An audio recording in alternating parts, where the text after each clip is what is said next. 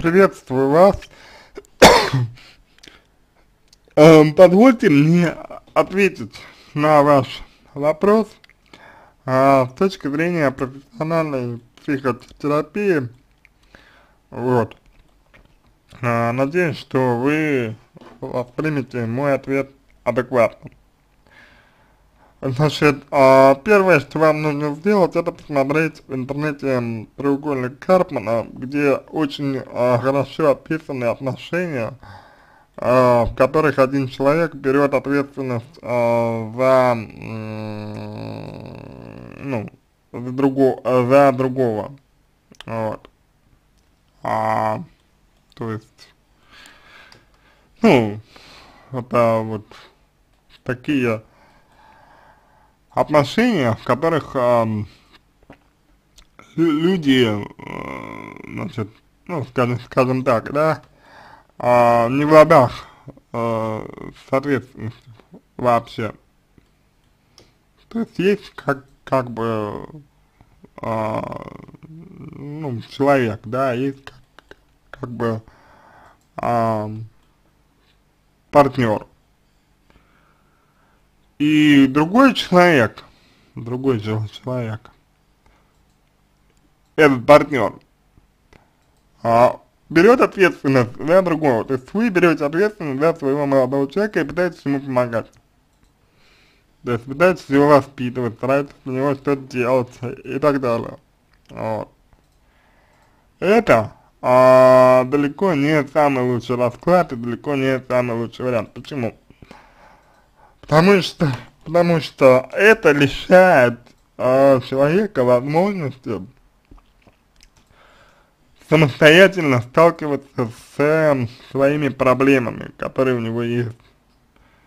Они у него, безусловно, есть, эти проблемы, ну, потому что объективно, да, вы говорите, что у него низкая самооценка, я думаю, что э, есть, значит, проблемы как какие-то еще, вот. А, то есть тут, соответственно, нужно разбираться, тут нужно разбираться, в чем, в чем конкретно проблем, проблемы заключаются. Вот. А, но история в целом и в общем, она именно такая. История в общем и целом именно, именно такая. Вот что вы берете ответственность за молодого человека, а активнее, сильнее, больше, чем это нужно, не даете сталкиваться ему, ему с последствиями своих действий. И, соответственно, как вариант, э, даже не вариант, а как э, следствие, как следствие мужчина остается в той же самой позиции, что и был до этого. То есть он не меняется, Меня, меняться у него нет никакого, никакого мотив, мотива, никакого э, стимула, да, ему э, что-то делать нет и, собственно говоря, быть не, быть не может. Вот. Это то, что вам нужно для себя понять. И здесь возникает, возникает вопрос, а может быть, может быть, вам э, все это выгодно. Может быть, вам выгодно, чтобы мужчина вел себя так, чтобы вы э, были для него такой своего рода мамой, вот, и такой своего рода воспитатель, воспитательницей, вот. И чтобы он не менялся. То есть вы хотите, чтобы он поменялся, но вы ведь, ведь, ведь, ведь, ведь вряд ли а, случайно выбрали себе такого человека, да, а, в отно, ну вот, а, партнера. Вы вряд ли выбрали себе такого человека партнера, а, значит, а, вряд ли случайно, случайно выбрали себе такого человека партнера а, который вот, ну, собственно говоря, не, ну, не уверен в себе. Вот. Я, если честно, не думаю так. А да, то есть не думаю, что вы э, случайно выбрали себе, себе э, партнера такого. Вот, я думаю, что это как бы имеет под собой основания. Вот. Какие основания это имеет под собой, да, это уже вопрос, это уже детали, это уже нужно разбирать, но имеет. Дальше. А вы не психолог. И никак не можете им быть. Да? В принципе. Потому что, ну, вы... Вы же, ну, не, не занимаетесь психологией а, профессионально. Вот. А мы, мы, мы психологией занимаемся профессионально. И вы, как близкий человек, близкий человек именно своего молодого человека, вот, вы ему не можете помочь, потому что вы, вы именно близкий человек для него, понимаете, вот. И если уж вы близкий человек, да, то вам и нужно оставаться этим самым близким человеком для него. Да, то есть не нужно быть для него кем-то еще. Вот. Вы поймите этот момент, пожалуйста. А, не нужно быть для него кем-то еще, не нужно, не нужно а, пытаться быть для него кем-то еще.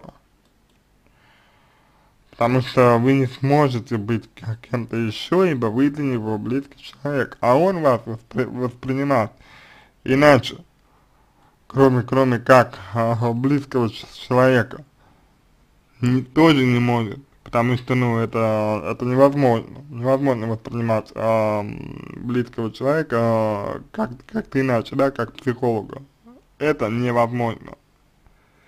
Еще раз повторяю, да, невозможно в принципе. Вот. Поэтому вы вступаете на заранее проигрышный путь. С другой стороны, вступая на этот путь, на путь, на этот проигрышный путь, вы, э, значит, отдаляете его от себя, э, мужчину, знаете, то есть, если вы хотите, чтобы у него что-то изменилось, если вы хотите, чтобы мужчина стал другим, если вы хотите, чтобы ситуация поменялась, позвольте ему быть тем, кто он есть, вот. Но ему так и скажите, ему так и скажите, что извини, дорогой, извини, дорогой, но меня не устраивает, как ты себя ведешь. Я не хочу, чтобы ты себя со мной так вел. И все позвольте человеку столкнуться э, с теми последствиями своих действий, которые реально есть, реально существуют до этих пор, пока вы не, ну, не позволите ему столкнуться с этими последствиями, ничего не будет, понимаете, вот. И вся ваша идея о том, что вы хотите помочь ему и так далее, не будет работать. Дальше. А, следующий важный аспект касается того, что вы не сможете поднять э, самооценку своему парню. Это, это может сделать только он сам. То есть только сам мужчина может, э, поработав над собой, и, измениться, если он считает это проблемой. проблемой. Но, как мы с вами уже поняли, как мы с вами уже увидели, а, вы ему не позволяете увидеть а, в этом проблему. Так вы пытаетесь ему помочь. Вы лезете к нему в душу. Вот. Психология это называется дикий психоанализ, когда без спроса, да, без э, разрешения клиента, без предварительной договоренности а, начинает пытаться человека, грубо говоря, лечить. Вот. Что никогда ничем хорошим вообще не заканчивается. ни для кого, ни для, а, ни для одной стороны. Вот. Понимаете? Поэтому не нужно заводить тему психологии с молодым человеком. Позвольте ему самому столкнуться со своими проблемами, а, а вы, вы лучше а, подумайте о том, для чего вам понадобилось мужчину, своего мужчину спасать.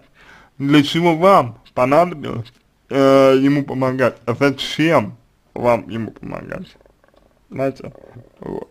С какой целью вы хотите это делать, ну, с какой целью вы это делаете.